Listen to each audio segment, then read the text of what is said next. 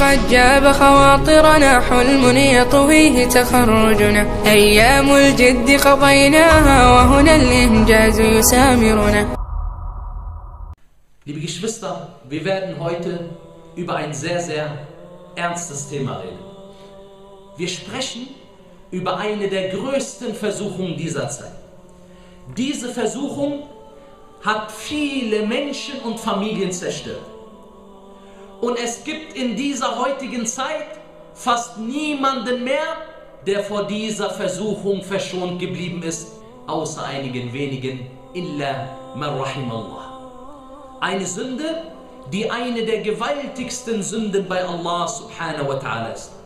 Und wo auch immer man sich befindet, so wird diese gewaltige Sünde von den Menschen begangen. Ob es in der Schule ist, oder ob es auf dem Arbeitsplatz ist, oder in den Häusern, ja sogar draußen im Freien vor allen Menschen. Ich habe nach mir keine größere Versuchung hinterlassen als die Frau. Und dass diese Sünde irgendwann draußen auf der Straße passieren wird, hat der Prophet Muhammad sallallahu alaihi wasallam uns damals vor sehr langer Zeit prophezeit, dass die Sinner draußen vor den Menschen begangen wird. Vor den Augen der Menschen werden verdorbene Menschen den Geschlechtsverkehr vollziehen. So heißt es in einer Überlieferung, die Zeit dieser Umma wird nicht eher zu Ende gehen, bis ein Mann auf offener Straße mit einer Frau das Üble begehen wird. billah. Ich sage euch nur ein Stichwort, Love Parade. Die meisten Menschen, liebe Geschwister, werden in das Höllenfeuer kommen aufgrund dieser üblen Sünde, die sie vollziehen werden. So sagte der Prophet Muhammad sallallahu alaihi wasallam, was der häufigste Grund ist, warum die Menschen in das Höllenfeuer eingehen.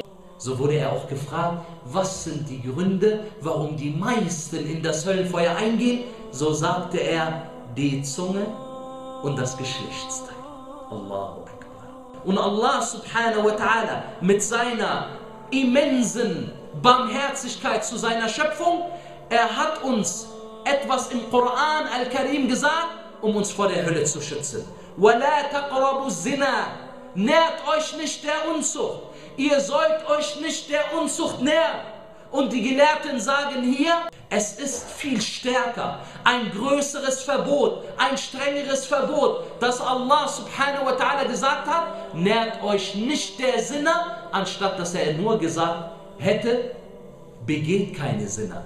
Denn begeht keine Sinner würde sich nur auf die Tat der Sinner beziehen. Aber Allah subhanahu wa ta'ala, er hat uns gesagt, nährt euch nicht der Sinner. Das bedeutet, jeder Schritt, der zur Sinner führt, ist verboten. Wenn man Frauen anschaut. قل للمؤمنين يغضون من أبصارهم Sprich ja Muhammad sallallahu alaihi wasallam. Zu wen? Zu den Gläubigen. Weil alle anderen nicht daran denken, dass sie eines Tages vor Allah subhanahu wa ta'ala stehen werden. Sprich, O Muhammad sallallahu alaihi wasallam, zu den Gläubigen, sie sollen ihre Blicke senken. Es ist nicht nur der Blick, sondern es ist auch, dass man den Frauen die Hand gibt, dass man die Frauen berührt. Das alles sind Schritte zur Sinne. Dass man unter Frauen sich beginnt und mit diesen zusammen ist. Dieses alles sind Schritte, die einem zu Sinne bringen.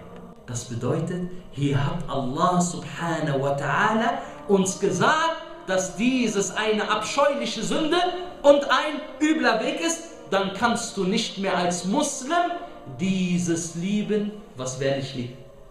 Allah subhanahu wa ta'ala. Ibn Abi Shayba, rahimullah ta'ala, er überliefert eine Überlieferung von Abu Musa al-Ash'ari radiyallahu anhu arda, einer der noblen Gefährten des Propheten Muhammad sallallahu alaihi wasallam. Und Ibn Rajab al-Hanbali rahimullah ta'ala sagte, diese Überlieferung ist authentisch.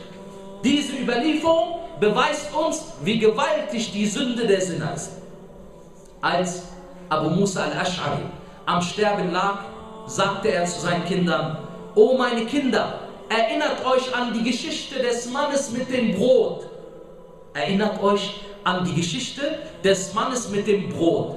Es gab einen Mann, der Allah subhanahu wa ta'ala über 70 Jahre diente.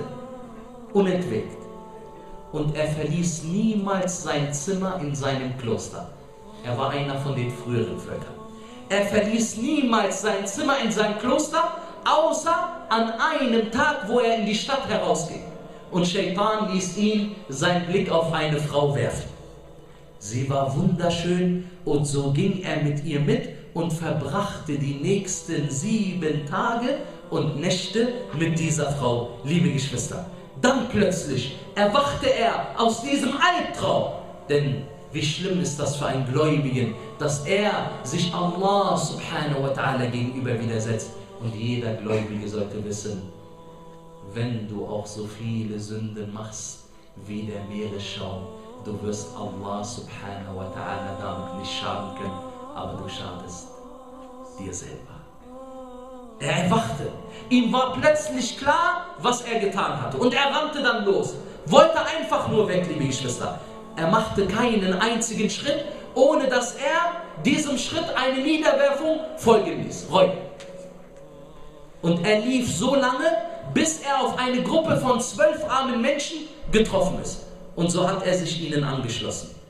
Zu dieser Gruppe von Menschen kam jeden Tag ein Mönch, der zwölf Brote mitgebracht hat.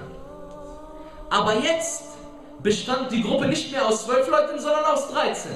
Denn dieser Mann, der 70 Jahre Allah gedient hat, hat sich dieser Gruppe angeschlossen. Er wollte einfach nur weg von dem Ort des Übels, was ihn immer an seine schlechte Vergangenheit erinnert hat.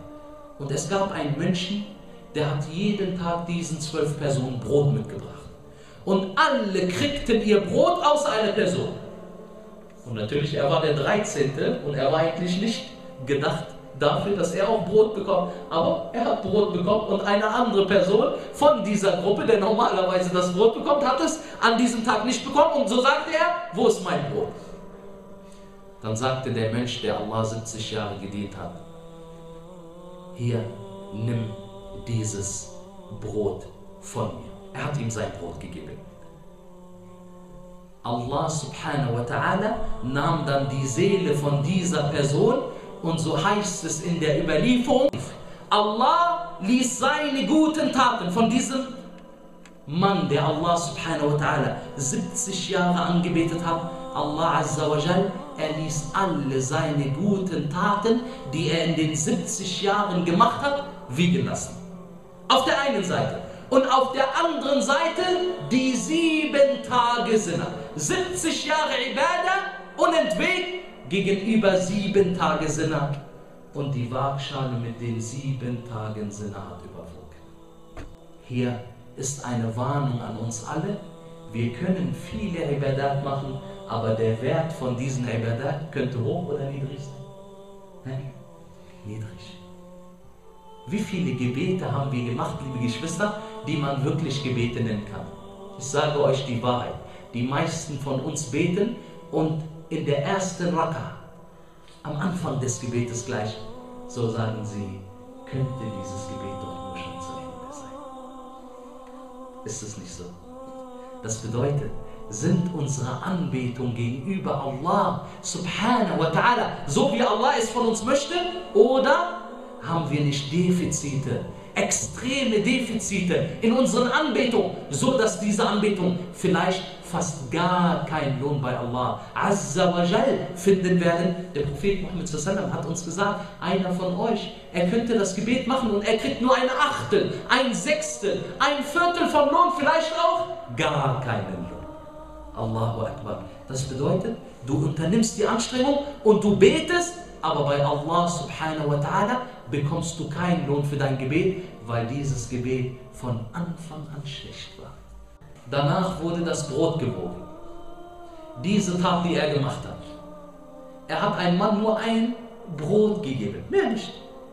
Aber diese Sadaqa, die er gemacht hat, war mehr wert als die sieben Tage sind. Subhanallah. Allah setzt Maßstäbe die wir nicht immer verstehen, liebe Geschwister. Als ob die Frau nicht schon eine gewaltige Verführung wäre, so läuft sie noch halbnackt auf den Straßen herum. Die Frauen, sie laufen halbnackt auf den Straßen herum, sie zeigen ihre Reize und dabei haben sie einen verführerischen Gang und sie spielen mit der Lust des Mannes. Nicht umsonst hat Allah subhanahu wa ta'ala diesen Frauen das Höllenfeuer bestimmt.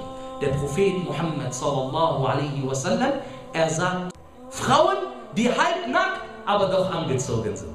Diese Frauen sind eigentlich nackt. Auch wenn sie etwas angezogen haben, sind sie trotzdem nackt. Und sie sind nicht nur nackt, sie laufen dabei in einer verführerischen Art und Weise. Ihr kennt ja diesen Entengang. Warum laufen sie so? Sind sie schon immer so gelaufen mit acht Jahren oder mit neun Jahren? Nein. Sie sind nicht immer so gelaufen.